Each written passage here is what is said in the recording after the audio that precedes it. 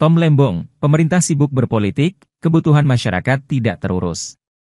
Kokapten Timnas Amin Thomas Lembong atau Tom Lembong mengkritik kinerja pemerintahan Presiden Jokowi yang sibuk berpolitik pada pemilu 2024. Akibat kelakuan para pejabat itu, kebutuhan masyarakat jadi tidak terurus dengan baik. Jadi ya secara teknokratis moga-moga pemerintah bisa segera kembali mengurus keperluan-keperluan masyarakat karena selama ini saya menyimak malah sibuk dengan berpolitik, sehingga kebutuhan masyarakat tidak terurus dengan baik, kata Tom di rumah Koalisi Perubahan, Jalan Brawijaya X, Kebayoran Baru, Jakarta Selatan, Senin, 26 Februari 2024. Adapun yang menjadi fokus Tom yakni permasalahan beras yang akhir-akhir ini langka dan harganya naik.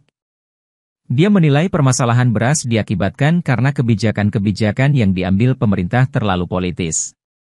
Jadi ya itulah yang terjadi kalau pemerintahan dan kebijakan itu terlalu dipolitisasi. Tentunya yang juga akan menarik adalah prospek kondisi beras ke depannya, ujarnya.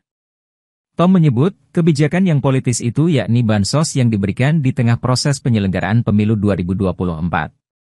Anggarannya pun fantastis, yakni senilai 496 triliun rupiah atau naik 20 triliun rupiah dibandingkan anggaran serupa di APBN 2023, yaitu 476 triliun rupiah. Sementara untuk bansos pangan periode Januari hingga Juni 2024 diperkirakan menghabiskan total anggaran 20 triliun rupiah. Mari kita simak bersama pergerakan-pergerakan stok maupun harga beras maupun keterjangkauan dan ketersediaan di berbagai titik geografi se-Indonesia, pungkas Tom.